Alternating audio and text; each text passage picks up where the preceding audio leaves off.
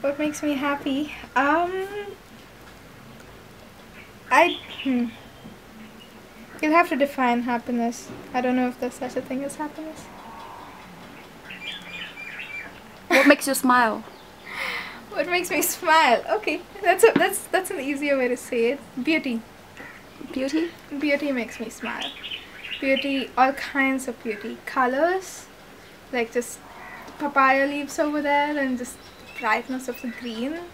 And when I'm cooking, like all the brightness of all the vegetables that I'm cutting. And then how the colors change when I'm cooking.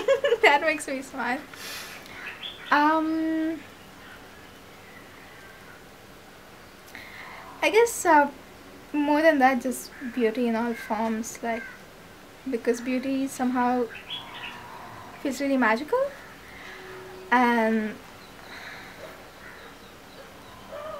hmm, how do I explain that? Like, beauty and sadness, and beauty in like human dramas, and beauty in like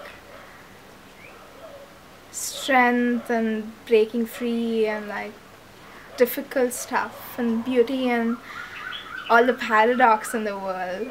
Like how when you feel good, you still feel bad. When you feel bad, you still feel good. You know, and beauty in when you discover something, or when you lose something and there's a feeling of emptiness, like all kinds of beauty, like beauty in everything. And yeah, I guess as long as I'm able to see that, I'm okay. Like even when I'm feeling really, really down or really, really lost, I know that's beautiful also. And yeah, I guess that's what makes me happy. Beauty.